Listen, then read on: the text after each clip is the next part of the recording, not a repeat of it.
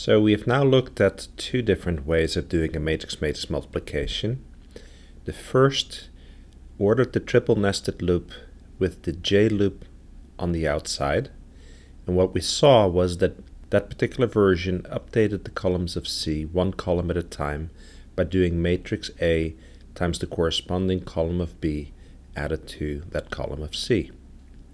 The second one ordered the I loop on the outside and what that did was it updated the rows of C one column at a time by multiplying the corresponding row of A times matrix B added then to that row of C. Now what we're going to do is we're going to look at what happens if we order the P loop on the outside.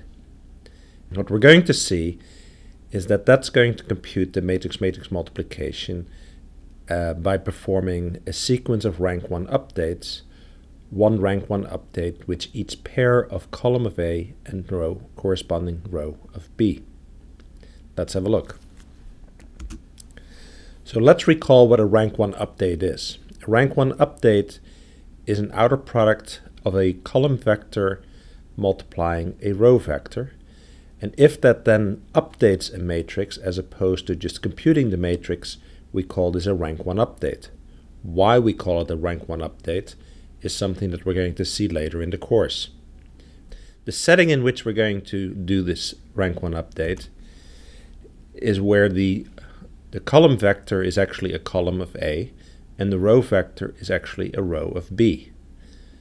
And we're going to do many rank 1 updates, one which each pair of column of A with corresponding row of B. So again, we remind you that the ij entry of C is updated by taking the dot product of the corresponding row of A with the corresponding column of B, the ith row of A with the jth column of B. Okay, this is a very full screen. Let's try to make sense of this. We have a concrete example of a 4 by 3 matrix A multiplying a 3 by 2 matrix B updating a 4 by 2 matrix C. What we've done here at the bottom is write out all the computations that need to be performed. If we look at what the loop index with P does, is it marches across the columns of A and down the rows of B. And let's see what the order is in which the entries of C are updated. We march across the columns of C and down its rows. And if we look at what the first computation does, is it performs this update right down here, the 3 times 1. The second one then does the next one, etc., etc. And notice that every element of C is updated with one of the terms, and then it moves across, and it updates each of the elements of C with the next term,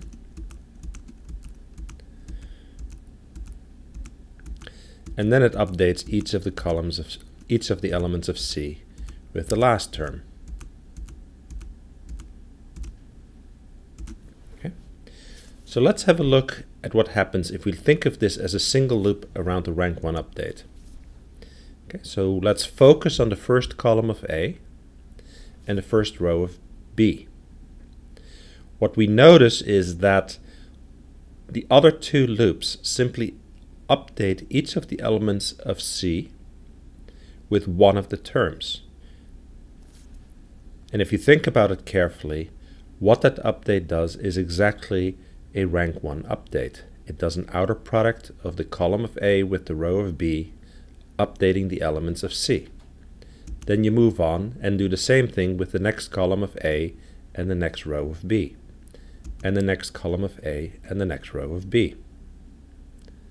Let's think of this as partitioning matrices. We like to slice and dice.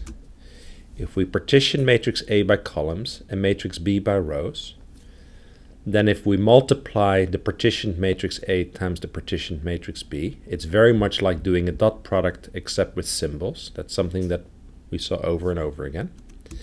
So we can write that out down here. And where do these terms come from? If we now look at the dot product with the symbols, we get the first term, and then the second term, and then the, the rest of the terms, and finally the final term. So what we see now is that it's a matter of just doing a dot product with the symbols. Now, let's illustrate that C is updated by a sequence of rank 1 updates by noticing that this P loop is on the outside now. And if you think of C being updated, then the first time through the loop you do an outer product of A0, which is a column, with B0 transpose, which is a row. And then the second time through the loop you do the same thing but the second term, and so forth. So it's a sequence of rank 1 updates that's updating matrix C. We can look at what actually is required to implement one rank 1 update.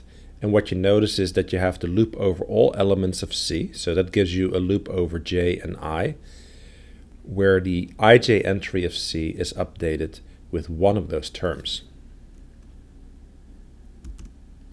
But we can order the two loops the opposite way, and we can have the I loop on the outside and then the J loop next. So again, a rank 1 update requires a double nested loop. That particular double nested loop can be ordered in whichever way you would like. So in summary, this is what the matrix-matrix multiplication looks like when we do it with a sequence of rank 1 updates.